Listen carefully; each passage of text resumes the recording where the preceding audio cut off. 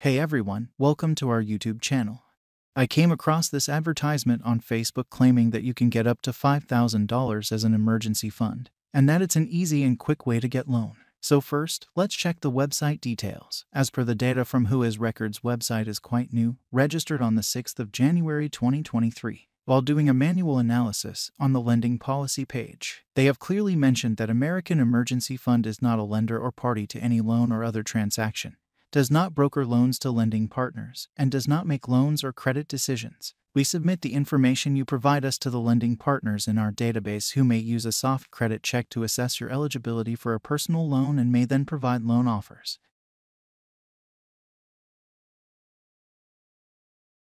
Also mentions that there is not guarantee you will be presented with any personalized loan offers, or that upon presentation of any personalized loan offers, you will qualify for the rates, fees, or terms shown on this site. On the Terms and Conditions page, they have clearly mentioned that by submitting your loan request, you are providing written instruction under the Fair Credit Reporting Act, authorizing them, or the lenders with whom your request is shared to obtain your consumer credit report or credit score. Basically, it's not a scam, but an affiliate company of loan lenders. Thanks for watching. Subscribe if you like the content.